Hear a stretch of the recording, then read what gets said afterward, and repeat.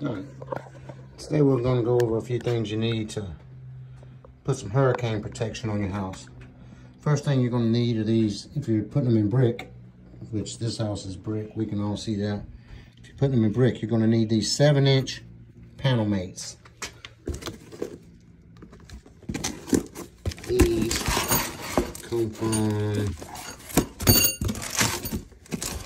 a company called Wind Stormed Products. Okay, this is the anchor here. And of course you're gonna need a special bit to put these in. And this is the bit here. It is a panel mate driver. It is a 3 16 by inch and a half. 3 16 being that.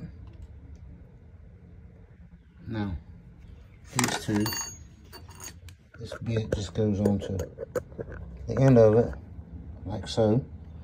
Then an impact, like so. You just drive them in. You're also gonna need a quarter inch drill bit. Don't worry, it's gonna have to be a long one for sure. At least six inches. You don't have to have an SDS bit. The way we're gonna do them through this brick, you'll see. Uh, you don't really wanna go through the brick here. Brick tends to bust and break. These things are supposed to be every 12 inches. Uh, if you'll count the mortar joints, one, two, three, four, and go every four mortar joints on this house. That works out between, most of the time, between about 10 and a half to 13 inches. And I've never failed an inspection even in Florida, where they've got the strictest of codes, not even in Niceville, Florida.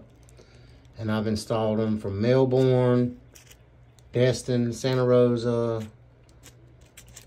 all over Florida, all over the coast, Mobile, Panama, Jacksonville, Florida, all over the place. Um, today, I'm going to be installing some. Well, we've already installed some. If you've got shutters and the homeowners don't want to take the shutters down, you can see you can just pull this little washer right down to flush with the shutters.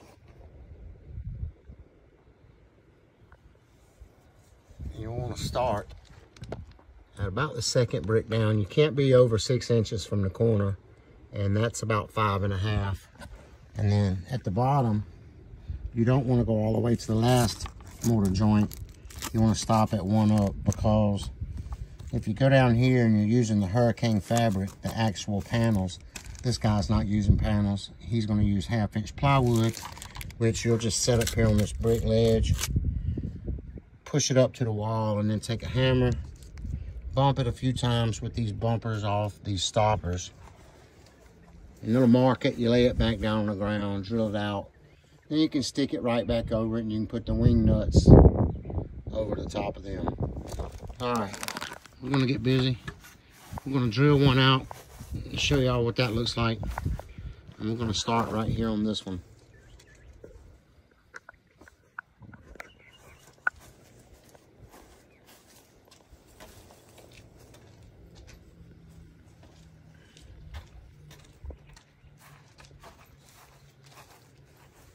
All right, so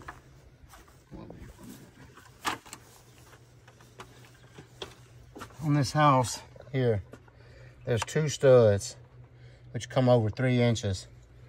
So if you'll measure over on this brick, yeah, you can run a level down the sides, usually what I do.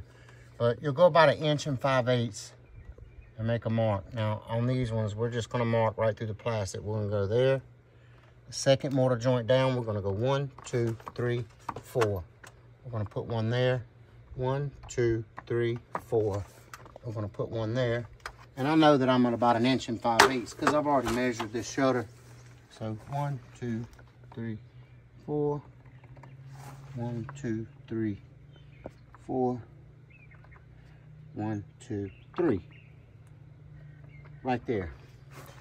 All right, let's drill that out. You wanna take your time drilling through this brick, especially on this one up here. These are the softest, easiest to break bricks on the house on this top roll up here with these last three bricks that they turn sideways. They'll just break right out of there if you're not careful. So you want to drill kind of slow.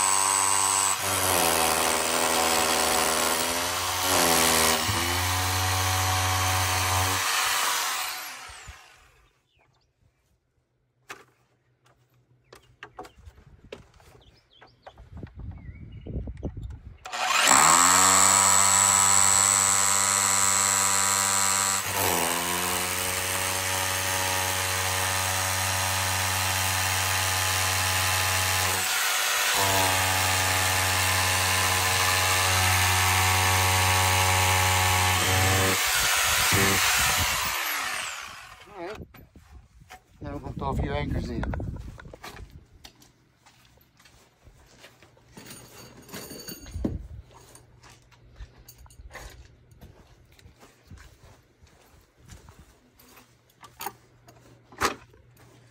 I just use this little DeWalt impact. They seems to work pretty good.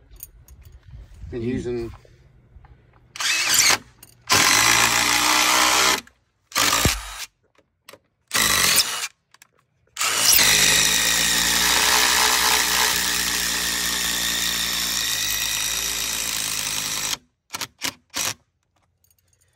using DeWalt impacts on putting these things in for years.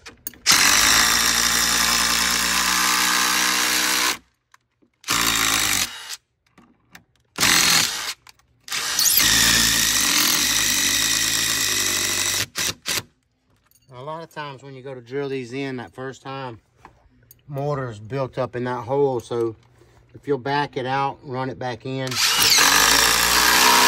like that.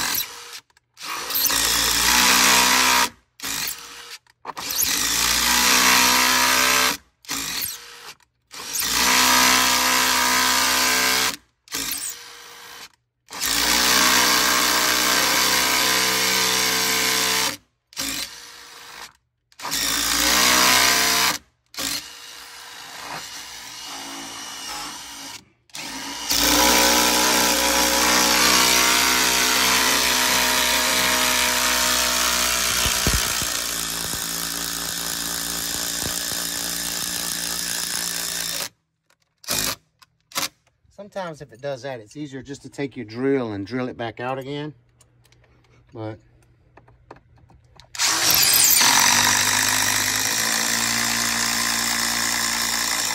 most of the time they just go right in.